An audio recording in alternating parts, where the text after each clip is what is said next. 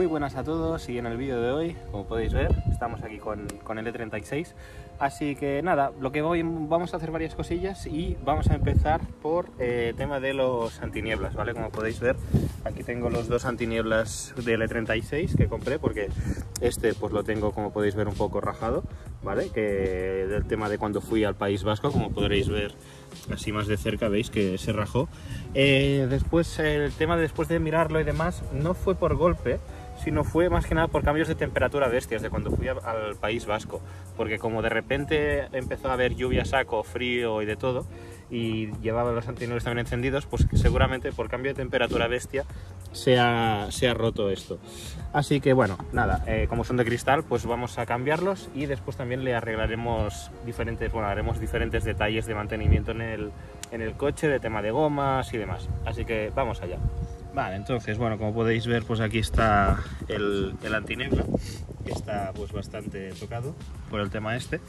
Entonces eh, al principio estuve mirando y no llegaba, era por dentro, o sea, todo esto es por, por, dentro, pero veo que con el tiempo la grieta se ha hecho un poquito más grande y sí que un poco llega hasta incluso el exterior, porque veis aquí se me clava la, la uña. Pero me acuerdo que al principio esto estaba solo por dentro por cambio de temperatura y llegó a entrar un poquito de, agua, si os acordáis en el, país, el vídeo del País Vasco. Así que nada, vamos a sacar el antiniebla. En principio para sacarlos en el 36 hay que poner por aquí un destornillador plano y empujar, ¿vale? Como podéis ver. Eh, entonces pues se sale de esta parte y pues eh, ya la podemos sacar directamente. Siempre es eh, primero esta parte y después la otra, ¿vale? Entonces, pues aquí lo tenemos ya. Desconectamos la, la clema. Estoy ir con cuidado con el tema de los, de los cables. ¿vale? Porque esto, quieras que no, pues lleva algún que otro, que otro año. Hay también que ir con bastante cuidado porque estos plásticos, si le das fuerte, eh, se rompen fácil. O sea, es mejor hacerlo con calma, ir moviéndolo poco a poco para que no nos lo, no nos lo carguemos. Y bueno, aquí veis el antiniebla, ¿vale? En principio creo que los nuevos ya llevan eh, bombilla, ¿vale? Si no, pues esto giramos, sacamos para arriba, ¿vale?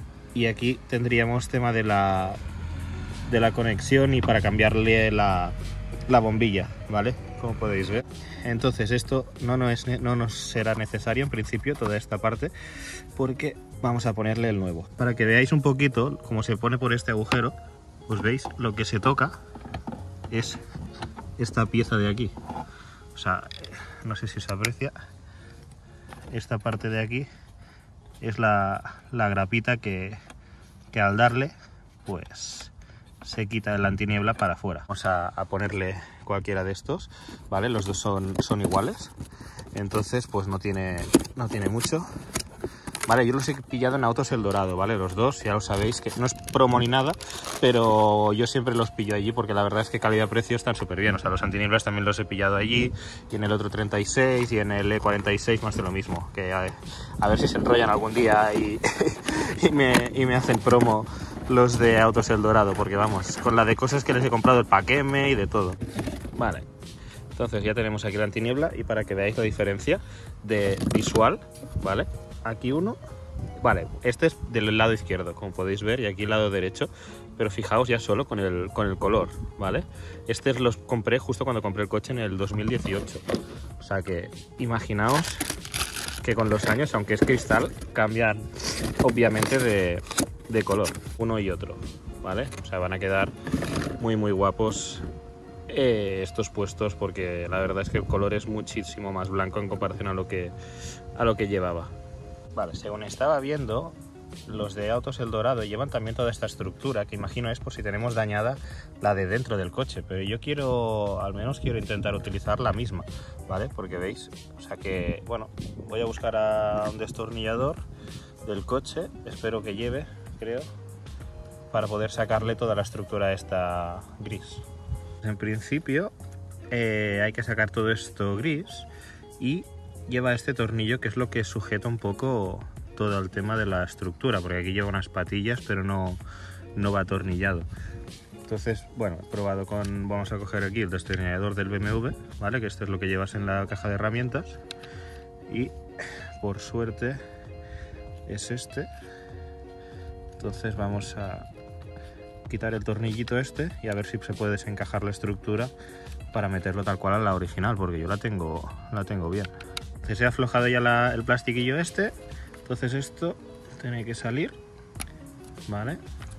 Vale, entonces sacamos toda la estructura de la antiniebla, ¿vale? Entonces ya tengo el antinieblas pues suelto. Antes de montarlo, prueba de, de funcionamiento. Y ya una vez esté funcionando, ya veis, es solo montarle las clemas estas. Lo dejo aquí provisional y vamos a, abrir la luz a ver si funciona. Vale, no funciona. Importante verlo, a lo mejor no hay bombilla. Ajá. ¿Dónde está la bombilla? vale, pues vamos a reutilizar la bombilla del otro porque no tengo bombillas nuevas. Esta es la bombillita en cuestión. Tenemos la bombilla, es una H1 veo. Entonces ya utilizamos el conector nuevo. El conector nuevo tiene estos dos cables, positivo, negativo. Veo que el positivo viene aquí protegido, si queda protegido, perfecto. Y un negativo, que es cualquier parte metálica, que en este caso es esta redondita de aquí. Vale, entonces esto ya lo cerramos y le conecto esto vale, ya tendría que estar, vale, esto está sujeto todo bien le hago una pequeña presentación y vamos a mirar si funciona vale, funciona, perfecto venga, pues eh, ¿cómo lo hemos sacado? salía de aquí y primero tiene que encajar de por aquí pues vamos a ponerlo igual hasta que se quede aquí sujeto ¿Veis? Ha hecho un poquito de presión aquí, ya noto como que... Ah, aquí, el clic. Ya está. Perfecto. Antiniebla cambiado. Y veis, así podéis ver la diferencia. ¿Veis lo uno respecto al otro? Yo creo que se nota el cambio de este transparente nuevo y este que no está tan transparente que ya lleva conmigo pues desde el 2018 si no recuerdo mal que sí, porque los antinieblas no los había cambiado, o sea, los, había cambiado cuando compré el coche, pero no los he cambiado más veces, que los intermitentes sí. Entonces, pues bueno, la estructura que os viene con el antiniebla, pues la podemos guardar.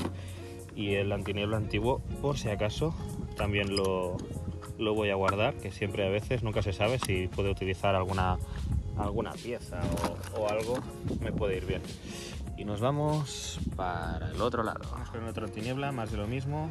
Primero aflojamos el tornillo este para poder sacarle toda la estructura, esta que lleva, que a ver si la tenéis dañada, pues la podéis aprovechar, pero yo quiero utilizar la que ya lleva el coche, que es la, la original, que está bien. Vale, y hasta que oigamos el clic. Vale, clic, pues ya estaría. Pues ya está puesto tú. Qué bien. Me mola, me mola cómo queda. Porque se nota. Se nota más modernillo. Y aquí veis cómo queda. Se ven súper bien los antinieblas. Más limpios, más brillantes que los otros. Porque el otro estaba ya más, más amarillito ya de los años. Así que bueno, pues otra cosilla más hecha. ya habéis visto cómo se ponen los antinieblas, entonces vamos a seguir ahora con el tema de las gomas del coche y una cosilla de la puerta y poco más. Vale, también vamos aquí, veis, la parrilla, que la tengo un poquito medio abierta. Pues esto también vamos a intentar apretarlo, no sé si desde aquí fuera podré, si no voy a abrir capó y desde dentro lo, lo hago para apretarlo porque esto tiene que quedar pues como esto, junto. Vale, he abierto el capó porque pensaba que estaba en el 46, pero el 36 está tapado. Tendría que desmontar esto para acceder. Entonces es mejor que quite directamente la parrilla por delante, que terminaremos antes. Vale, pues veis, en el E36 se saca la parrilla por delante sin, sin problema, lleva las, las grapitas aquí. Entonces, pues bueno, vamos a, a, ir poniéndolas dentro porque se habían suelto de aquí debajo. Entonces no había forma de, de ponerlas. Así que con calma las pongo con las dos manos y lo volvemos a, montar. Vale, pues he estado mirando, esto es lo máximo apretado que puede estar, ¿vale? Porque de las grapas, ¿veis? Aquí está bien, de aquí más o menos también. El problema es que hay una zona, que es la de aquí debajo, que veis, es como que queda floja la grapa y no tiene suficiente fuerza para que esto quede, uy, que se me cae y la liamos, que esto quede pues apretado a tope así. Que no se nota mucho en verdad, pero bueno, era nada, estos milímetros. O sea, queda mejor que antes porque estaba súper abierto, porque antes estaba suelto. Pero es como que se ha dado de sí por el calor o algo y no termina de quedar apretado del todo. Pero bueno, vamos a montarle. Vale, pues ya está la, parrilla montada, ya veis que hay mucho menos agujerillo y prácticamente es que ni se nota. Así que nada, pues ya estaría, cerramos y seguimos. Perfecto, y las antinieblas ya cambiadas. Y así es como quedan los dos antinieblas encendidos, que la verdad que queda muy muy guapo con el nuevo color. Más transparente, todo perfecto. Y también, ya de paso que estamos con el E46 Coupe, pues podemos aprovechar y hacérselo también al E36. Así que vamos a ello. Bueno, pues vamos ahora con el E36. Un poquito lo mismo. En las gomas de la entrada. Yo en el E36 ya desde que lo tengo siempre se lo he ido haciendo. Porque incluso cuando el cristal sube y baja, a veces pues notas como que hace un pequeño ruidito con la goma y una vez lo hidratas, pues ya está, se quita. O sea que esto es súper recomendable de hacerlo y sobre todo cuando los coches también tienen sus años y las gomas quedan espectaculares.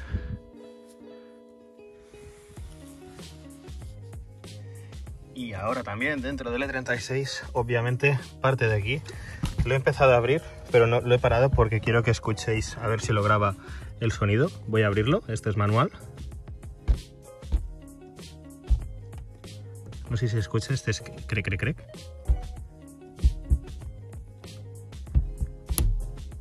¿Vale? Esto también hay que ir haciéndolo porque esta goma se termina pegando, porque en los E36, como se abre manualmente, pues mucha gente no lo abre. Entonces, de los años, la goma se termina quedando pegada aquí y termina perdiendo propiedades y lo mismo, se termina colando toda el agua por esta parte de, aquí. Así que lo mismo, vamos a, darle. Si ahora grabando el otro lado escucháis un poco si hace el sonido de que las gomas están un poquito pegadas. Se escucha, ¿no?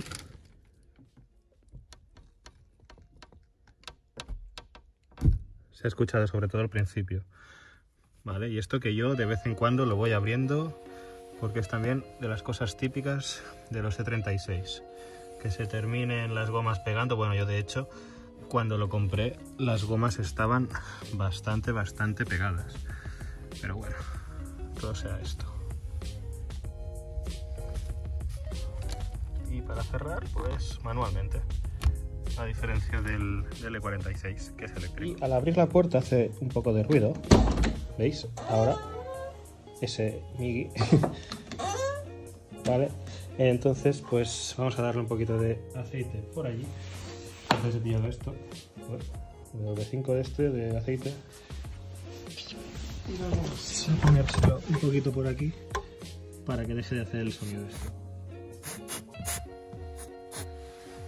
Vale, ¿veis? Le he dado, o sea, le he puesto tal cual y vas moviendo un poco para que se reparta y ya no hace nada de ruido.